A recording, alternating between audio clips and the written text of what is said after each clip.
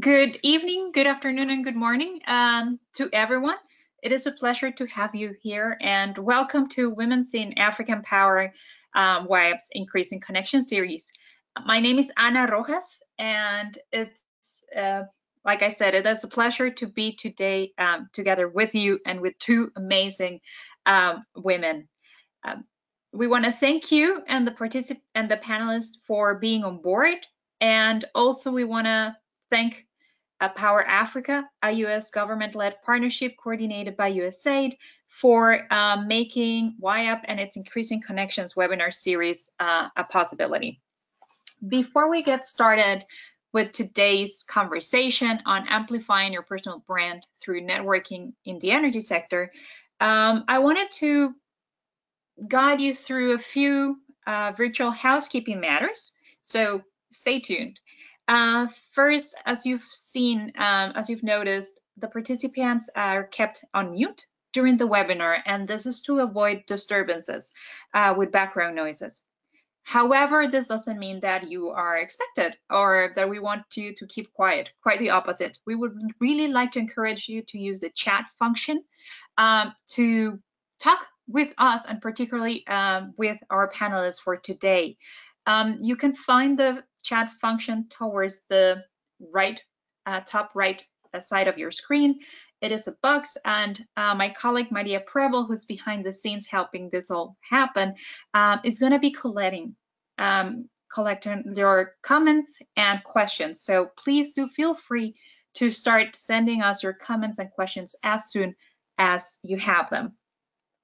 Um, Maria is also um, in a position to help you if you have some um, technical difficulties uh, or if you have additional questions uh, with regards to uh, women in African power or the topic that we have at hand today.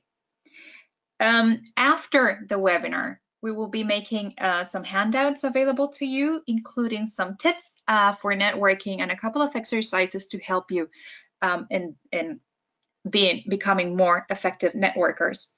And finally, because this is a question we always get, um, yes, we are recording this webinar and the presentations together with uh, the recording would also be made available to you um, at a later time.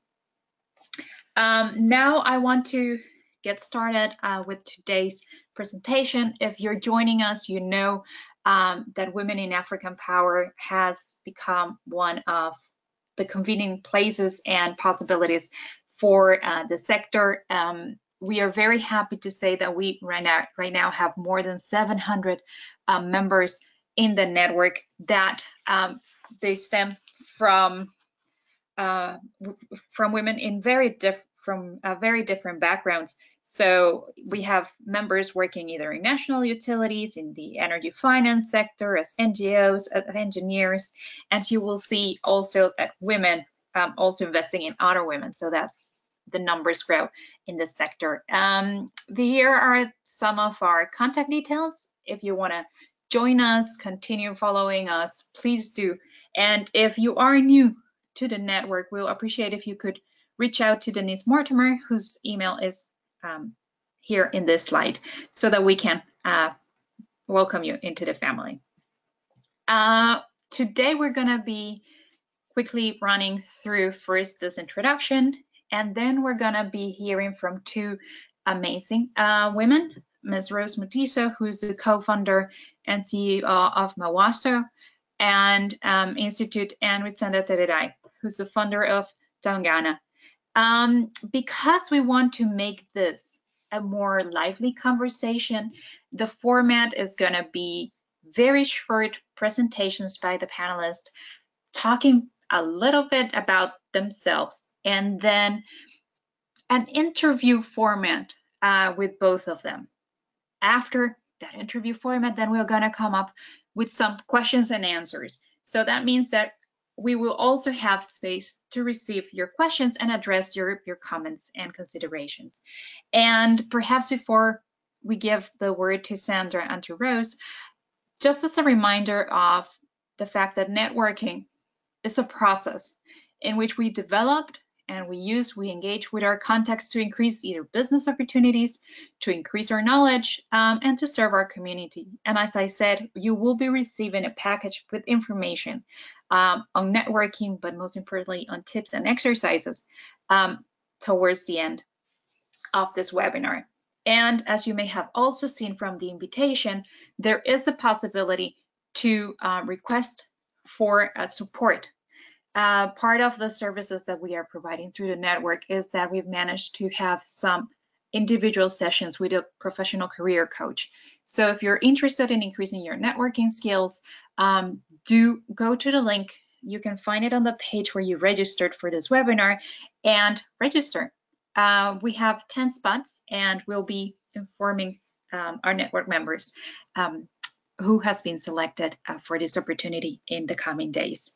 Again, our contact details and please don't be shy. Let us know also what you think about the network and um, about this webinar series. What, what other topics would it be possible for us um, to discuss? And now, without further ado, I would like to introduce you to our first um, speaker, uh, Rose Mutiso, uh, who is the co-founder and CEO of the Mawazo Institute, um, which supports the next generation of female scholars and thought leaders in East Africa. Rose is also a senior fellow of the Energy for Growth Hub, focusing on African energy sector development and the current Next Einstein Forum ambassador representing Kenya. Previously, Rose was a senior fellow in the Office of International Climate and Clean Energy at the U.S. Department of Energy, the DOE, where she led DOE's engagement on technology and policy dimensions of energy access in sub-Saharan Africa and South Asia, including in Power Africa's Beyond the Grid initiative. A materials engineer by training, Rose has technical expertise in the field of nanotechnology and polymer polymer uh, physics, including nanoelectronics and next generation um, energy technologies. Um, Rose, it is a pleasure to um, welcome you to the floor, and we're very much looking forward to hearing from you, your experiences in networking, and how how it is that you've managed to do all of this in at least two different continents. Um, thanks so much, Anna. And um, uh, thank you so much to all the attendees. It's wonderful to meet you all virtually. Um, I think anytime women are gathered, um, I feel very energized. And even if we're gathered through the internet, some I, I, can still feel the energy. So thank you for making the time and for taking interest in advancing your careers and um, optimizing the path ahead. So actually, um, I just only wanted to say some things about um, uh, through this introductory PowerPoint, I mainly wanted to introduce myself so you know me better, but actually Anna did a really good job of that with the bio. So, uh, goodness, uh, yes, how do I go next? Next slide. Yeah, so the slide I was showing here was mainly to give you a flavor of what I've been up to for the last 10 years. And uh, so you, you can kind of see all the different ways that I've touched on the energy sector. Um, one thing I point out is I, I, this is early career. I'm still in the very early stages. I'm still learning. I'm still growing, and so wherever you are in your in your career, um, networking and growth and career building is really really critical, and you should be doing it at every stage. So I just wanted this slide to be uh, to give a snapshot into the fact that you know I've worked on energy from a very science perspective, and so when I was doing my PhD, I was really deep in the technology aspects of science, so next generation materials um, and then I transitioned into a more policy uh, position, and this is because I've always been interested in how science interfaces with society. And so I did a postdoc, a postdoctoral fellowship in Congress, which was a very, very fascinating um, arena, and I focused on both domestic energy policy, innov domestic innovation policy, and a little bit of uh, international energy policy. Um, I think then transitioned into a more government position in the Department of Energy, and Anna mentioned a little bit about the work I did in the in the bio. And again, this is a part technology, part policy position where I was getting a little bit deeper and focusing on energy access, which is really the development um, piece of of energy. So rural electrification um, and that kind of work around how energy can be used to drive socioeconomic development in developing countries. And, and today, um, my main job is actually supporting women who are in this research pipeline, uh, women who are doing um, postdoctoral and doctoral research at Kenyan universities, not just in energy uh, topics, but in STEM and the social sciences. But again, now how I look at the energy sector and um, uh, is, is from a capacity building perspective, uh, which is something I really care about. I also have uh, two other side affiliations. Um, the main one being I do some policy research. So I'm affiliated, so I do a little bit of my research of, of energy research myself, and I produce outputs. And so I'm continuing to uh, advance my thought leadership in the sector. And I also am an ambassador for Next Einstein Forum, where I, I advocate for science and energy and, and, and, and STEM generally. So this is just to show you that um, you don't have to have a linear career, but you can still have thematic consistency across the board and still do very many interesting things. And this this has been my path, and everyone will have a different path. But just having a kind of thematic core, which is science, STEM, energy broadly, but then coming at it from different angles, whether it's technology, whether it's advocacy, whether it's capacity building, whether it's policy, and that kind of thing. And so um, the career can go in any direction. But it's still important to keep some kind of a, a thread that connects everything. So finally, I just wanted to say a few things about what I'm doing now. So my main job is leading this Mawazo Institute, what I'm passionate about is women's ideas and voices influencing the future of, Af of the African continent. And so we support the next generation scholars and thought leaders who will really know their stuff, who are experts in their fields, but who are also trained to be public, publicly engaged scholars. So the kind of people who are writing opinion pieces, policy briefs, who are speaking on the news. Um, this is this is this is what I'm really focused on right now. And we support women, as I said, both in the sciences and the social sciences and the humanities, uh, give them research funding, and support um, and also training in public engagement. So that's hopefully gives you a, a flavor of who I am and um, feel free to ask in the Q&A section uh, uh, questions from these different pieces of my career trajectory that may resonate with you. Thank you. Um, thank you, Rose. I deeply appreciate it. I am very sure that also our audience members are looking forward to having a more um, a stronger conversation with you and uh, with Sandra uh, who is our next speaker. And Sandra Tererai is um, a food scientist, co-process improved specialist who is passionate about financial independence for women. Um, Sandra seeks to widen the reality of girls and women through exposure to powerful narratives and experiences that would ordinar ordinarily not have been a part of their cumulative life journey. Recognizing the role of STEM STEM plays in the development of African communities, Sandra is convinced that promoting entrepreneurial STEM activities for African high school girls and women from different geographies is a powerful way to realize this. Sandra currently leads her expertise to a Swiss oil and gas company in the East and Southern African region. And Sandra, it's always a pleasure to, to have you on board and to talk to you. And now, uh, thanks for helping us figure out other aspects of professional career um, and your involvement and support to women in the sector, and particularly girls. The floor is yours.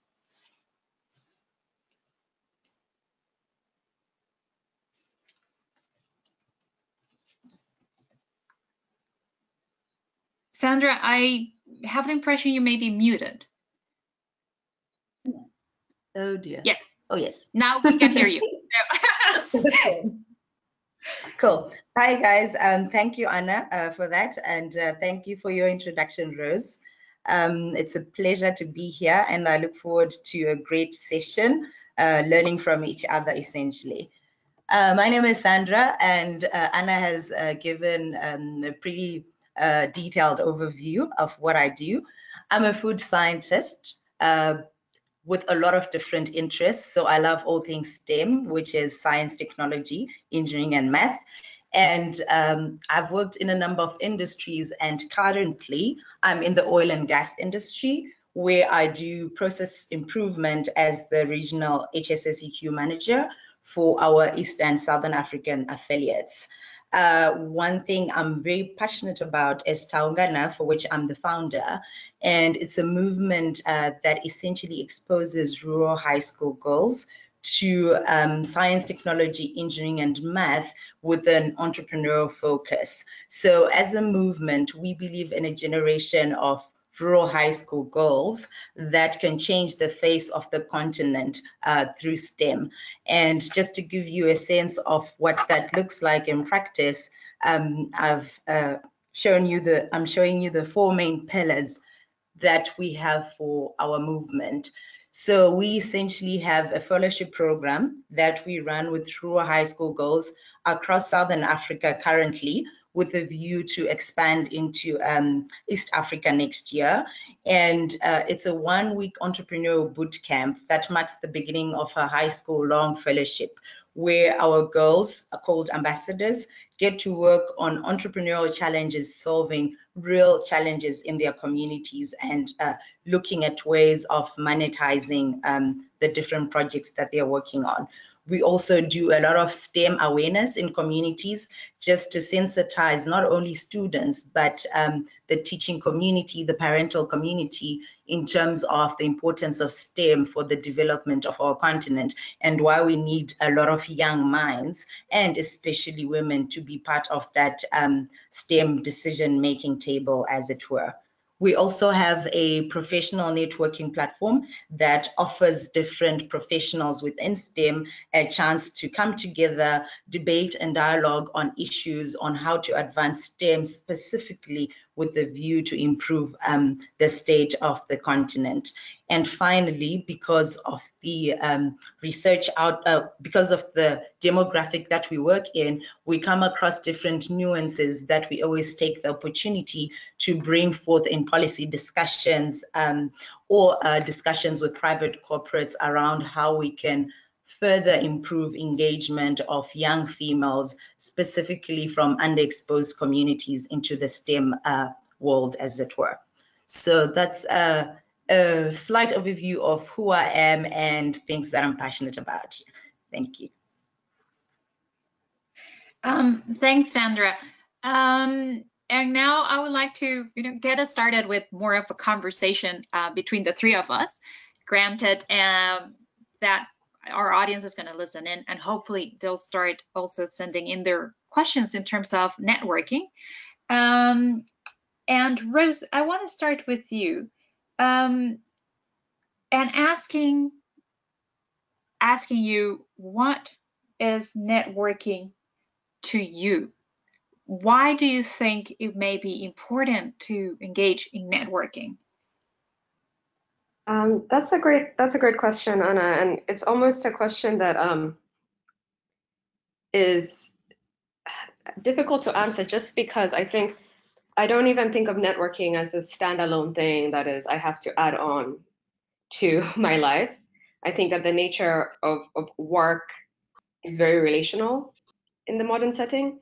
And so networking is deeply embedded in everything that you do. And so if you're collaborating with your colleagues, if you're going to meetings, if you're having conversations, if you're working with other people, any aspects of your professional life that are relational, I think are part of networking. And so I, I, I try to broaden it from this. I think there's a people think of it as this kind of standalone thing where you have to go to a cocktail and give somebody your business card. But I think um, I, I, find it more productive to think of networking as this just um, all-encompassing um, aspect of relational um, uh, relationships at work and around the workplace. Mm-hmm. Thank you. And, and Sandra, if I was to pose the same um, question to you about what is networking um, to you and how important you think it is for your uh, position within the energy sector, what would be your answer then? Um, so I would tend to definitely agree with what Rose has said in terms of it not being a standalone item, you know, that exists within its own space. And further to that, I would say that for me personally, it also extends um, or focuses strongly on the building of relationships. So for me, networking is really about how do you build relationships to mutually achieve and enhance goals and interests of whoever it is that you're networking with um, and and the importance of that um, I always find is initially uh, there's an opportunity to harness intellectual resources with the people that you network with as the first step to tapping into you know different other possibilities and opportunities as well as other resources that go beyond um, intellectual um, um, collaboration if you like. Okay it's interesting because both of you have said, you know, that it's more of a process. It's it's it's very much into um, into your day-to-day -day work. And I was wondering if there is an ideal moment um, for the networking, or if you would say not necessarily. Is there a timing um, in which you've thought, well, this is something that really one should do uh, when engaging in networking, or this is something that I should not let pass? Does that make sense how I'm phrasing the question? Um, yeah, so I think I see what you're saying, where um, uh, uh, there's always a. Um, I, I think backing up uh, one level uh, above your question is this idea of there are different types of networking, and each has a different time and place, right? And so I, if if if your work is uh, okay so if you know there there's kind of productive networking which as sarah said sandra said you're collaborating you're you're sharing intellectual resources and that can happen at very many tiers so whether it's going down the hallway to a colleague in a different uh, working on a different part of the organization to ask a question that you've come across that you think they may know something about and you've never really interacted you know i think that that is kind of a low low pressure low tier um, where like timing doesn't matter as much. It's you know you're kind of institutionally in the same um, bound together institutionally, you know, and so that is a form of networking where you're kind of going beyond your core uh, group of professional contacts. You're trying to meet new people and share intellectual resources, like Sandra said. And then I think that if you're in a big event. Um, a, a, reception where there are people who may be of interest to you, but you don't know each other, um, and you don't have a direct ask, but it's somebody that you think that you should know. And then, you know, I think that there's a lot of um, um, trying to read the room, trying to read the situation. Are they talking to other people? I do have an in, you know, maybe it's somebody that you recognize that we met before, and so there's there's a familiarity, and so you can get in there. And so there's there's also the low pressure aspect, and the timing is not as crucial. So I really do think that there's no one size fits all. It really depends on the the nature of the networking, the nature of the relationship, um, the the nature of the setting, um, and you just have to get practiced in all of these different types of networking and and, and kind of refine your instincts around it. Thank you. I think you definitely um, hit the nail on the head, especially with the different types of networking and how it may be necessary to, I mean, it's necessary to adapt. Um, Sandra, I'm wondering if there is anything that you would like to add or contribute, um, reflect on, on what Rose was just saying. I would I would just add that you know with the different uh, types of networking, um, there's also I suppose um, networking that can happen passively, uh, much like the examples that Rose has given, where it just happens in your day-to-day -day interactions, but you could also proactively seek out networking opportunities, you know, for specific uh, goals or intentions that you have, and you specifically um, seek out networking um, um, scenarios that best suit those those interests or goals that you have. Thank you.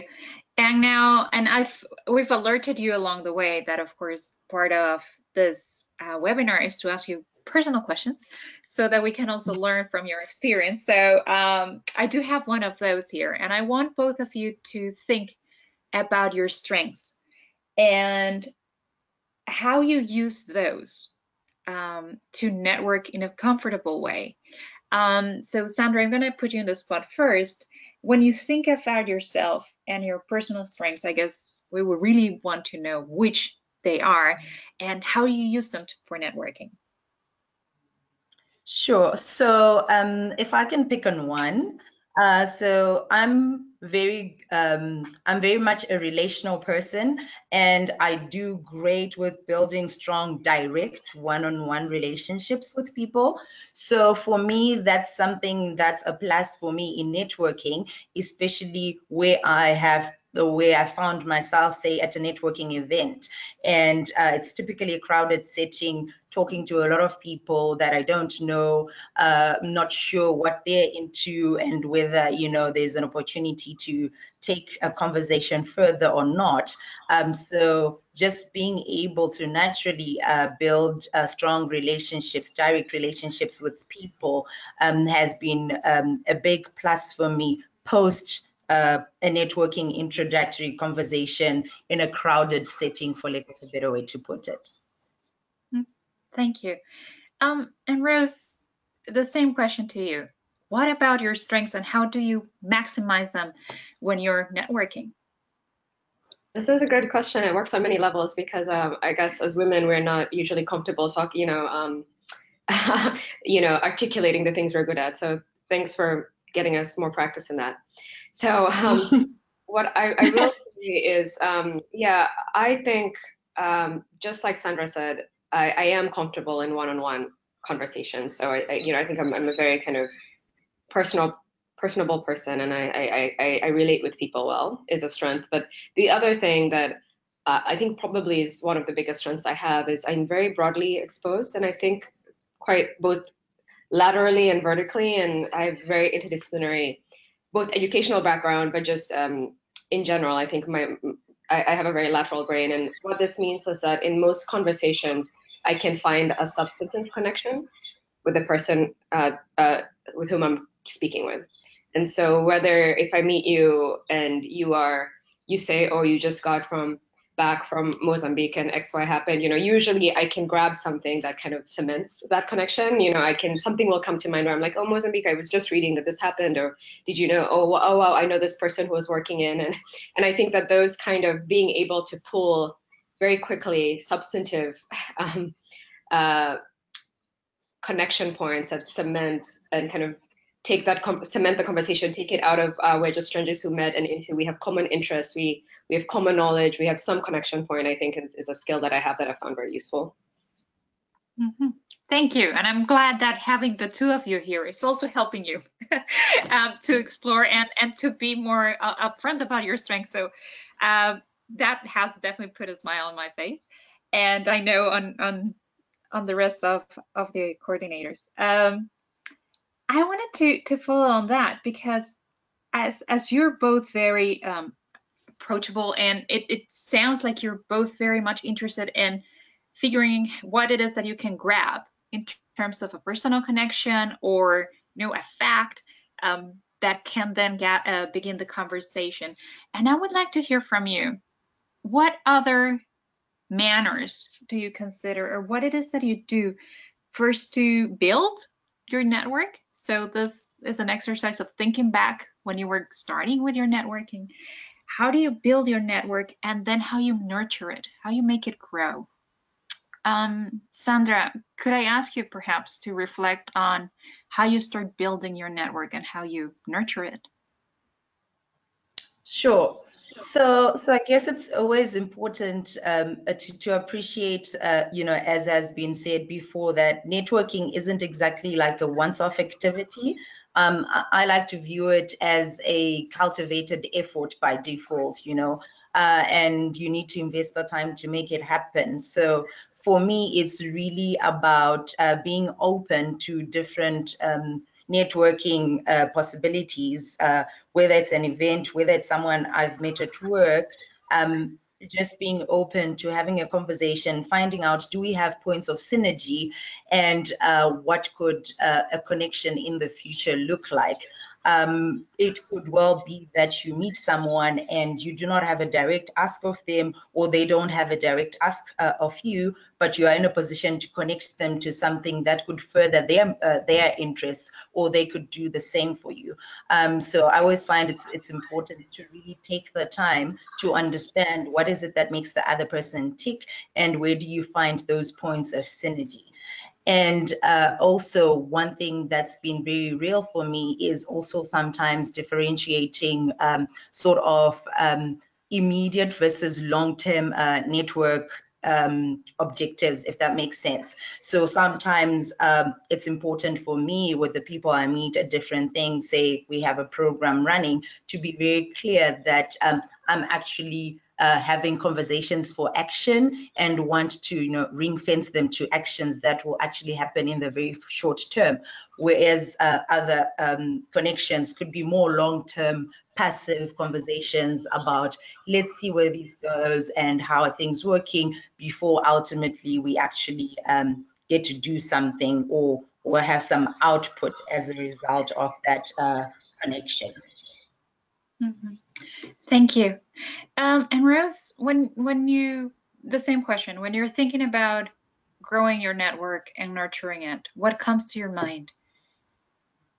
Um, yeah, so uh, first I'd say I agree completely with everything Sandra said. Um, um, and for me, I think I, I, sum it up in my mind in this kind of I, what I would call my philosophy of, of networking is is it's about giving yeah. not receiving. So I think a lot of people think I need to network. I need to meet this person. They could help me get a job. They could help me, you know, and the, and maybe that's why um, networking has a little bit of a, even as a term, it sometimes it makes me feel a little bit uncomfortable. It seems very transactional. and as this kind of um, people, I think people in, in the, in the common, in, there's a commonly held perception of networking as you go and you get something out of people. And this is like you're angling to explore some connection. And um, I think that if you go with a giving first mindset, um, then you will receive. So if you're going to help people and find these connection points where it's you have something to bring to the table, then and then and then as part of that process, uh, you know, this is kind of a long long long term investment in the relationship, and then and then you get help. And so I would I think that is always my starting point: is what can I bring to the table? What value can I add? Um, as opposed to what can I get out of this uh, relationship. And even if, of course, the the receiving part of it is always in the back of your mind, there's always some goal that you have. But if you go with a giving first mindset, I always find that that takes away the awkwardness, that kind of warms up the conversation, and that kind of thing. And then I think um, breaking that down further, you know, I, I think they're kind of like two. I, I, I think of networking in two bins, which is this kind of very productive. Uh, relational networking where you're working together on something um, you're trying to, you know, I heard you're organizing a conference. I'd like to participate. I can, you know, speak on this panel. I can invite other people, whatever. So there's kind of like a productive connection where there's a, a back and forth. Um, and then there's, you know, what is kind of coming up more with these digital networks, which is a more broadcast type of networking where you just add someone on LinkedIn. There's nothing to ask or to give or to receive right now, but it's just kind of this long-term network building. And and one day, um, you know, it's good to have this database database of contacts and some kind of timestamp for how you met or how you connected. And, and one day um, you may need to reach reach out, but there's no immediate um, kind of need for that right now. So I think it's important to be doing both, the kind of productive one-on-one giving, you know, um, type of uh, network building, and, and then also kind of maintaining this healthy database through, you know, the various digital platforms like LinkedIn that just keep you keep you connected to people that you know one day you may you may have um, a need to to take the relationship to the next level. Mm-hmm. And uh, I want to ask you to stay on the line and think a little bit more about or, or have a, a link to what you were just saying because we're more and more networking also on using electronic platforms and i wanted to ask um, you if you could help us understand how do you make take advantage of of both of the in-person, you know, the more traditional um, networking channel, and how do you use uh, the digital um, networks? Um, do you have a difference in, in, in topics and approaches? Uh, how do you go about networking in this two, at least in my head, separate worlds?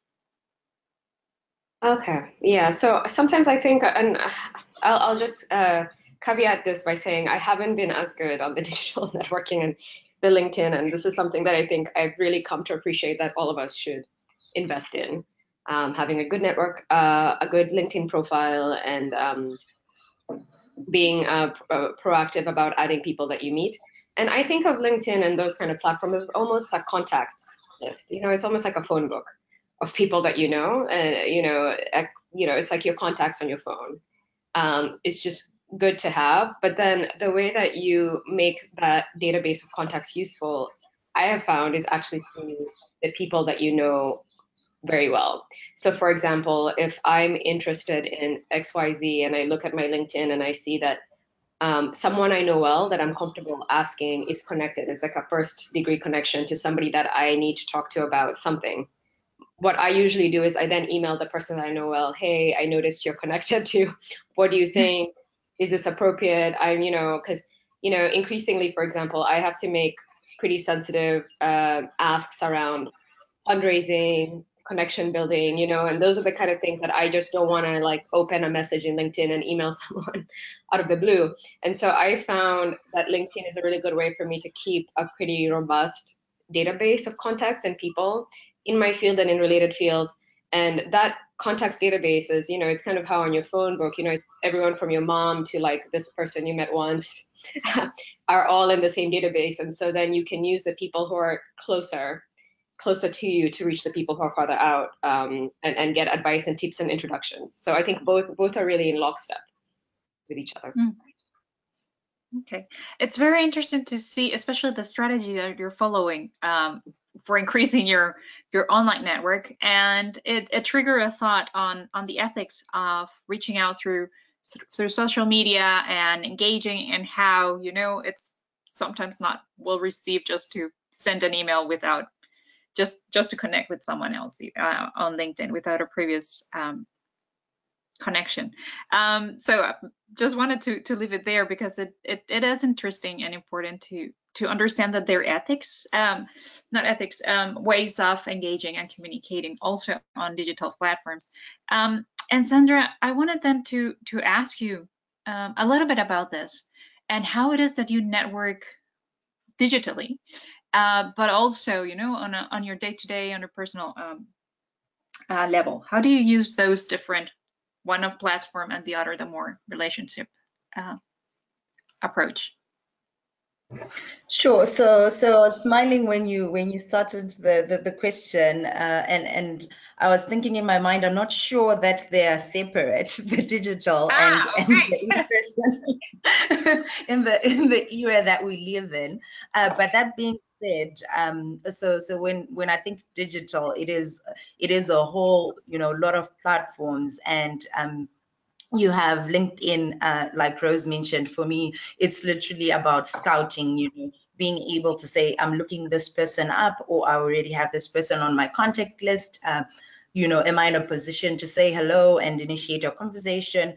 Do I want to ask someone to uh, to be able to do that um, for me. Uh, and also beyond me taking those steps, I think it also presents a really, really great opportunity to actually also put your word out there, whatever it is, you know, whether it's as simple as saying, we have an event, who's interested, or we'd like to do this, uh, we, you know, who's who's interested. I think it um, it creates a great platform for putting your message out there and allowing people to find you, um, as opposed to always being scouting for uh, for for people, as it were.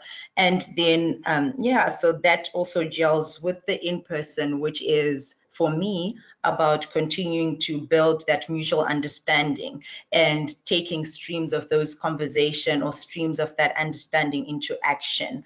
Um, inevitably, once again, because we are mobile, global citizens always up and down, that then also is laced with um, digital um, channels, whether it's Skype to communicate or you know having to make simple calls. Uh, that in-person ongoing communication for me is increasingly actually strengthened uh, by some of the digital uh, uh, communication channels that we have, if you like. Yeah. Mm. Okay, thanks, Sandra. Um, before I open the, the the floor, the conversation to the questions that we're receiving from our audience, and I want to encourage you know the participants to keep on sending their questions. Um, I wanted to take a moment so that to ask the two of you to please reflect on a moment when your networking approach helped you achieve your professional goals in the energy sector. So if you can think about a moment, I don't know if it's a meeting, it's it's a conversation on the corridors, an unexpected LinkedIn request, something that you've said, this was a very good networking moment and because it helped me, you know, grow uh, in my career. Uh, Sandra, could I perhaps ask your comments? Okay, um, sure. So, um, uh, well, I'll quickly give you two examples. so essentially, uh, and, and, I think this speaks to, once again, networking uh, being a process. Uh, but when we started Taungana, for example, uh, the founding team is based in Johannesburg, South Africa, for context.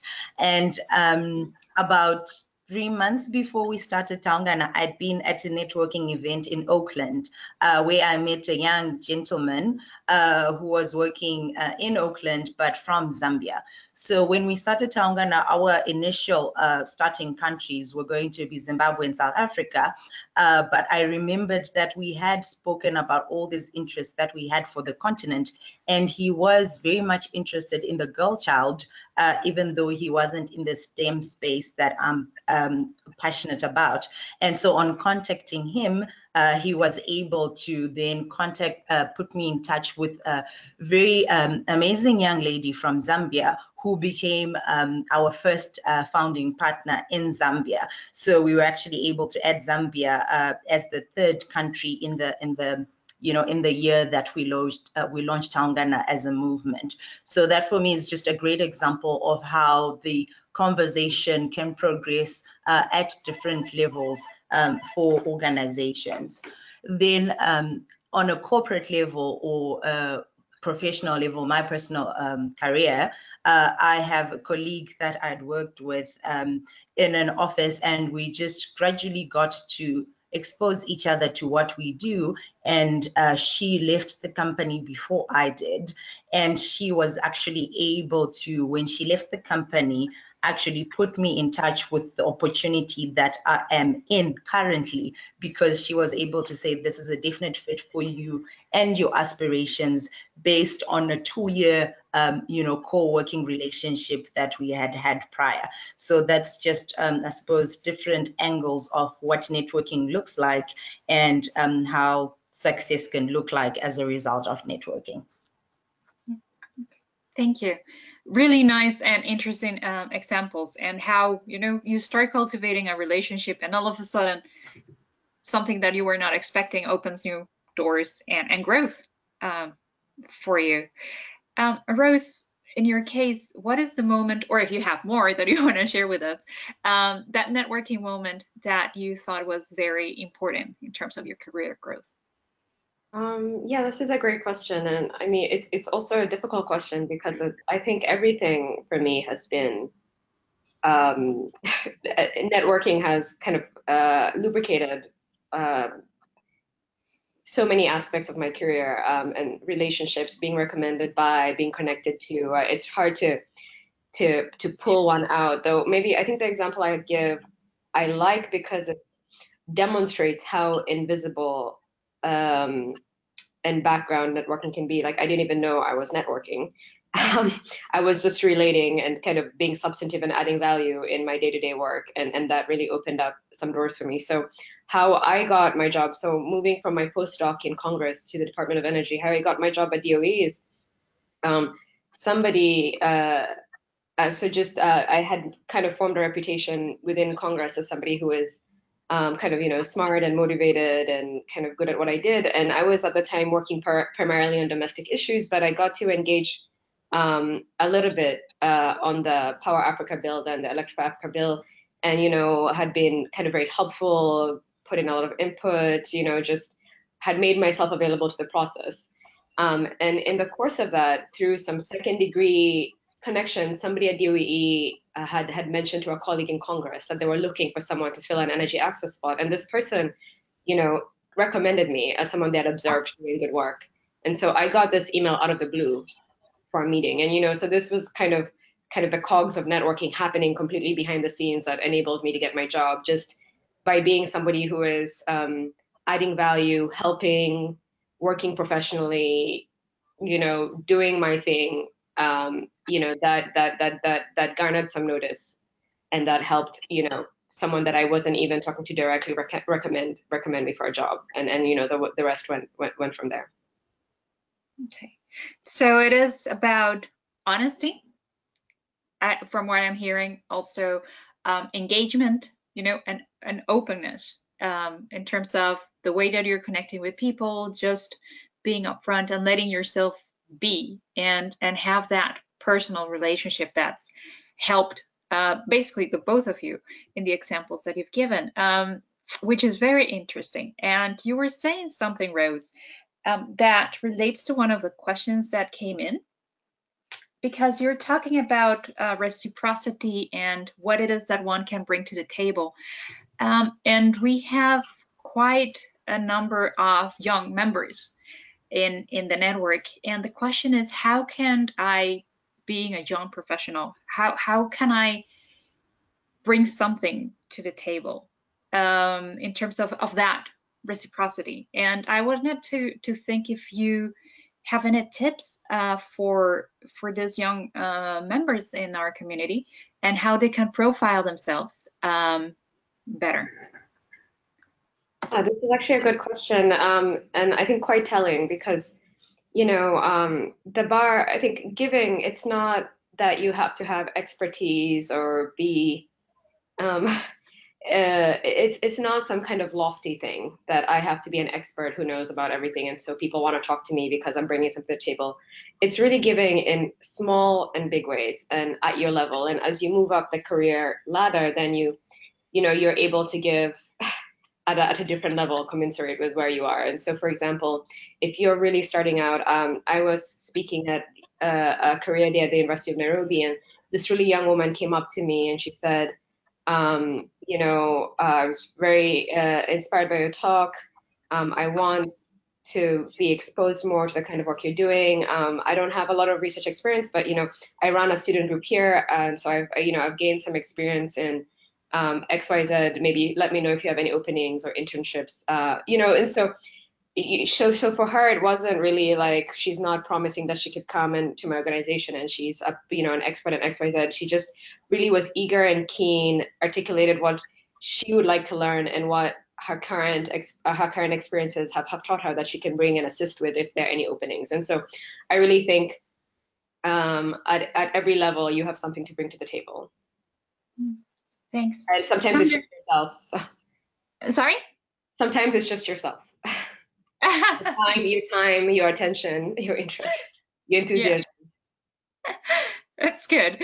Um, and Sandra, you work a lot with with girls, with young uh, professionals. Um, what is your advice to them in terms of networking and opening doors for themselves? I think it would be it would be very much similar to um, to to what uh, Rose had said, and I think it's um, uh, uh, it's possibly important not to overthink it.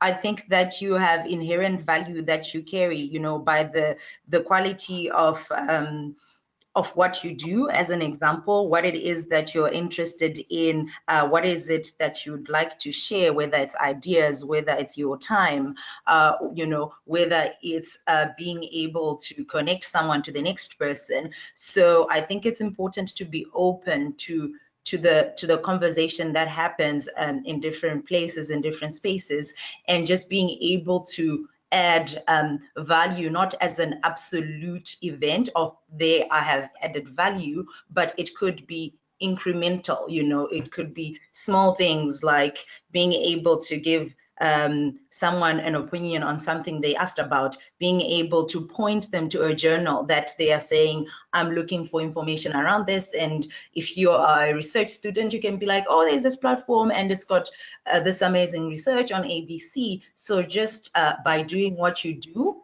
uh, on a day-to-day -day basis, that's the value that you can bring to the table by default. So yeah, don't overthink it. Thanks. Um, I hope we don't uh, after this conversation. Um, Sandra, I know you have to leave um, on the hour, um, so I want to post the the next two questions to you, so we can take the most advantage of your time and your inputs, and then Rose will continue with you because I know you're a little bit more flexible uh, with the time. So, Sandra, um, the first question, because you are very much at home or that's my feeling on social media is uh, what kind of social media platforms do you prefer? Um, and, and and why?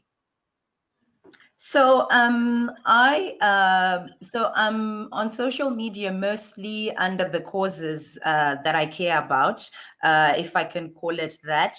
Uh, so uh, for, at Taungana, if I take Taungana as an example, we are on Twitter, we are on Facebook, uh, we are on Instagram, we're on Flickr, And for us, uh, really, social media presents an opportunity for us to showcase uh, what we are doing, uh, to be able to say to the communities that we work with, here's what we're doing, here's the value that we're trying to add, and who would like to be part of this journey uh, for us. So it's really a way of getting the message out there uh, and allowing uh, the network to find us. So we do a lot of you know, trying to network with different people for different reasons, a lot of looking up different people and trying to get introductions to different people. But what we've also found in the work that we do is there are a lot of people out there who want to be part of a movement like ours, who want to be part of what we are doing. So it's really an opportunity to, you know, to make those two worlds uh, of us looking for a network and a certain network looking for people like us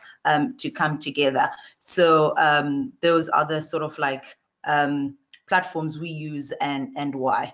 Uh, on a personal basis, I am probably less of a social media person because um, once again, I'm very much uh, a one-on-one person. So um, I'll typically email, call people, um, and yeah, I think I think that's more or less um, how I use social media. Mm -hmm. Thank you.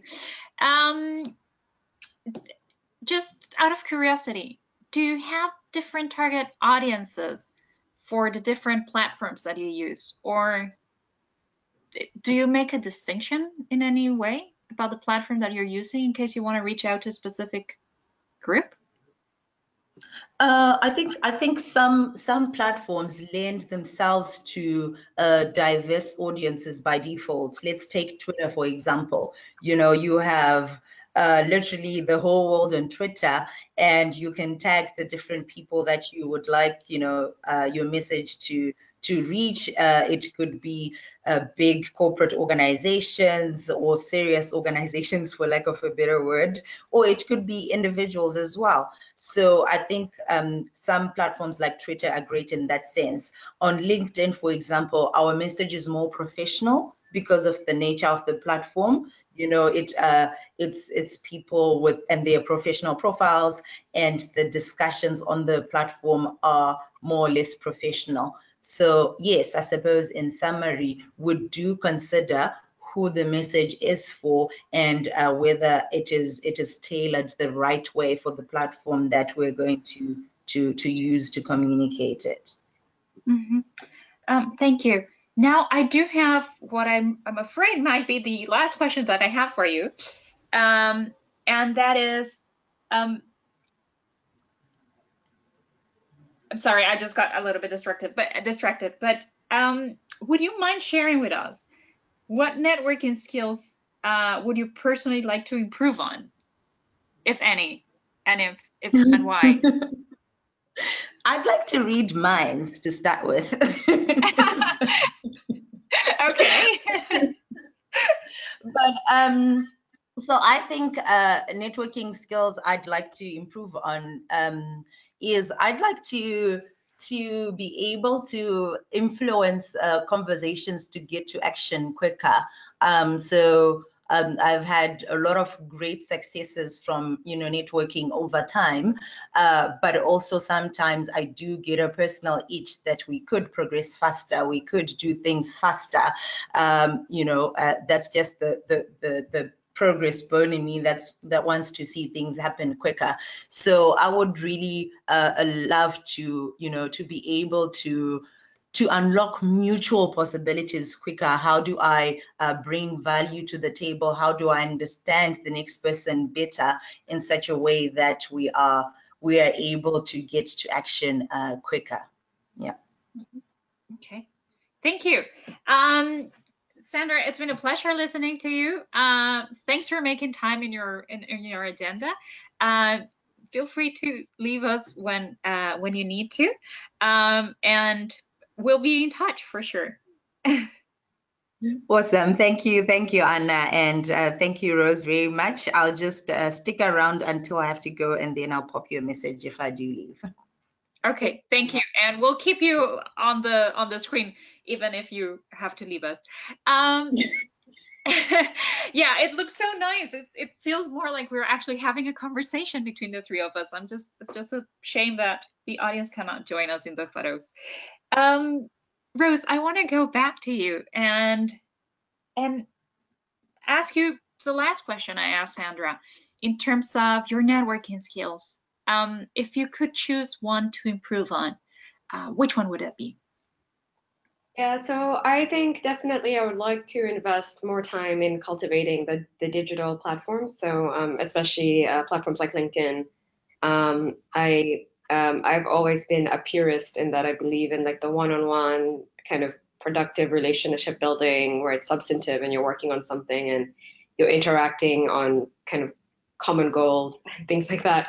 But now increasingly, I've really seen the value of um, more actively maintaining the more kind of um, broadcast, like large platform um, form of of, of, of um, networking. So actually, yeah. So my I, I, haven't had to manage my LinkedIn and those things very much, and they kind of grow organically. But then wanting to be more deliberate. Um, I would also, I think, I really echoing Sandra. I would really like to, um, yeah, close. Uh, uh, uh, how do I say? Convert relationships into action much faster. And so this is again uh, shifting a little bit from this very pure pure view of relationship building as we just like you know we uh, uh you know you you build relationships you interact with each other it's it's uh, it's not tainted with uh, transactional um, like you know uh, you know just like, everyone's trying to get something out of it but then you know really being comfortable with the fact that um, it's it's it's okay to be transactional and it's okay to to make asks directly and to be more direct. So I'm I'm I'm learning that more and more and being more comfortable with that. Mm-hmm. Thank you. And maybe that's a, a very good leeway onto uh, onto another of the questions that we have, which is how do you actually follow up uh, with new contacts after you meet them? Um, what is it that you do, you know, after you've encountered this person, engaged in a conversation, and then how do you follow up to get to that action, for example? So again, it really depends on, I think, the nature of the interaction. And so if I just met you, we had a brief conversation, you gave me your card, I don't really know you, I don't, there's no real um, next step immediate, then I think simply adding adding the person on on on, on LinkedIn with a short note, like I, you know, it was wonderful to meet you at XYZ um, event, great. But then if, as Sandra said, you had uh, during the conversation, you know, you had mentioned, oh, you're interested in this. Well, I know this platform or this journal, or there was kind of a little bit more of a substantive connection there. Then I would say send an email in a day or two, being like, wonderful to meet you. Also, by the way, here's the link to the platform I mentioned. You know, and so you're just kind of keeping that person in front of mind and solidifying that that connection. And and you know, sometimes. Um, it's it's a little bit longer horizon where uh, you know it'd be months later and I, I have to dig out a business card and email someone because you know it's like oh you know we met months ago at this thing and we're looking for a panelist who is uh, for our event who is an expert on this and I thought of you. You know you know you might remember we had this conversation. You, you know so sometimes it's just uh, you it's a sliding scale and you don't know when and how the contact will come up. And so you uh, like I said at the beginning of the webinar, you really have to just get get practice in sharpening your instincts and intuition around when and how and what.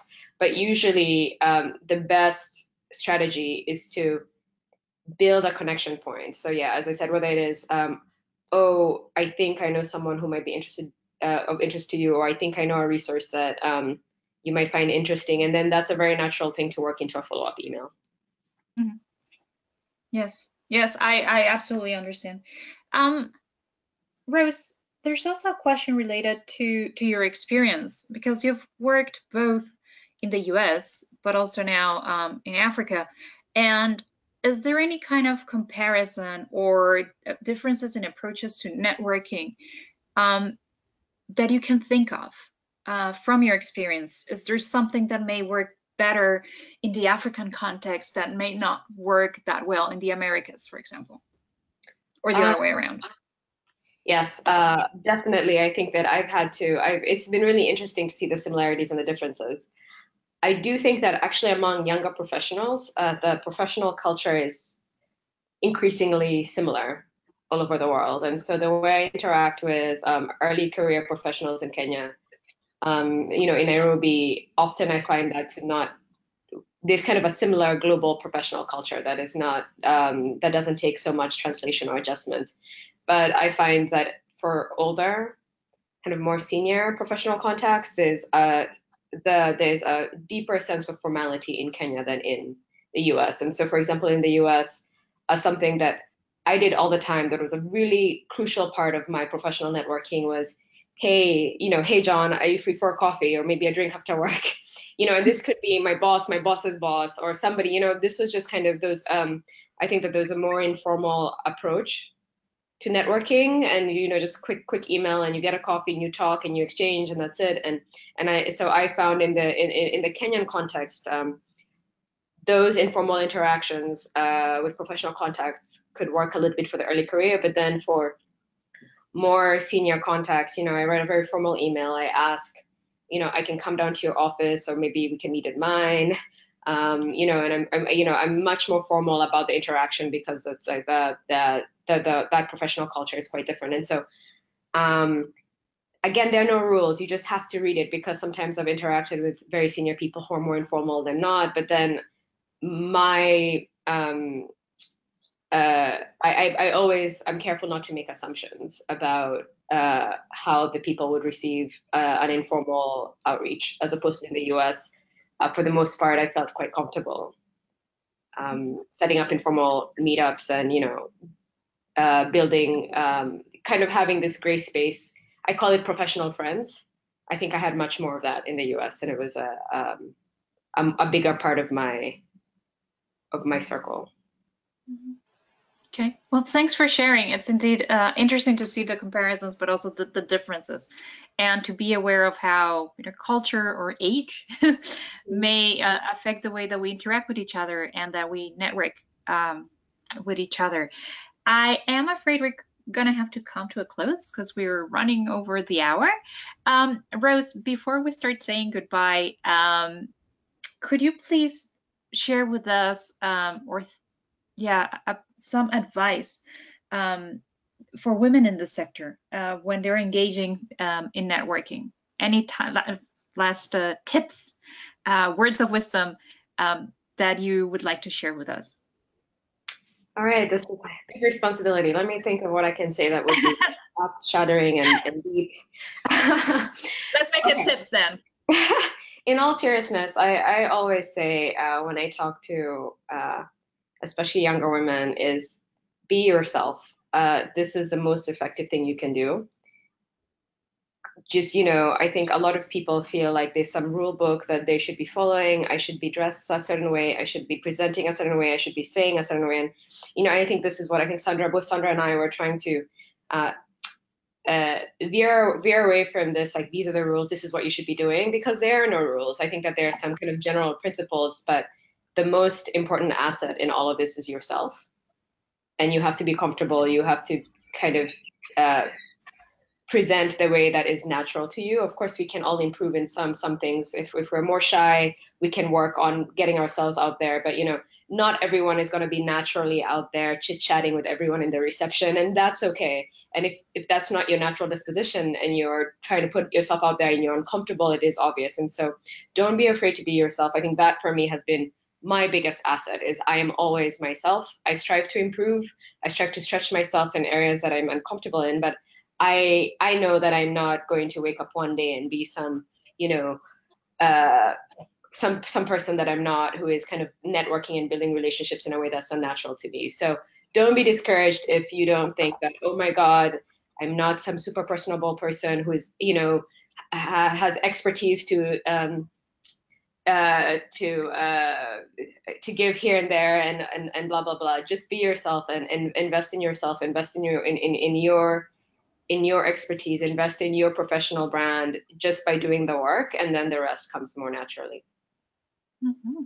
Well, thank you. I I think it's been um, a great uh, a tip and about honesty uh, to yourself and engagement of yourself and but still putting your you know going out there and, and making these connections. I think that the most interesting part of the whole conversation of, of today's webinar, at least personally, um, has been to hear from both you and, and Sandra how how we should not think of networking as something out there that's kind of scary, but that is something that is very natural and it's a day-to-day -day occurrence. And how important that is that we maintain ourselves honest to ourselves um, in the day-to-day, but also when we're out there trying to make this other connection. So it's, it's been amazing and very inspirational for me to hear both you and, and Sandra um, speak about uh, your experiences and how you approach networking and how it seems to be and um, how how important it seems to see it um, as a fluid conversation uh, with all your professional contacts. So I want to thank you and, um, and Sandra, um, the both of you, to for being with us today, uh, for sharing um, your personal views and experiences with us, and um, for making this um, webinar happen. Um, I want to thank the audience for their time and their attention. I want to invite you to stay connected with us. Uh, we will continue with um, with this um, increasing connections series of webinars. Still, uh, the next one is going to be on career development skills. So do stay tuned. Um, I want to also thank um, Power Africa for for their support. Um, just a note that we will be um, sharing the recording of today's webinar together together with um, some notes on um, excuse me i'm just changing screens. So stay tuned. Uh, we'll be uh, sharing the recording of today's webinar as i said together with a package on networking and some additional information in case you want to deepen yourself in terms of what networking is, how can you um, organize and, and, map your net, your own network and, and try and figure out what best to do with it, uh, how to move forward, and also um, with some tips on how to do this in a way that is comfortable to you and that is appropriate to, to you, to your personality. So stay tuned. This is all coming your way. And once again, thank you very much for joining uh, this rich conversation and making it all happen.